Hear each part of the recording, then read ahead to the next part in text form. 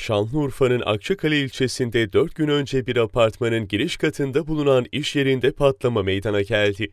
Gaz sıkışması nedeniyle yaşandığı tespit edilen patlama anı bir iş yerinin güvenlik kamerasına saniye saniye yansıdı. 4 Aralık günü yaşanan patlamada 6 kişi yaralandı.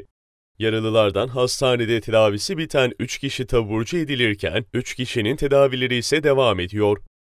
Patlama sonrası evsiz kalan apartman sakinlerine Akçakale Kaymakamlığı sahip çıkarak barınma ve yiyecek ihtiyaçlarını giderdiği belirtildi.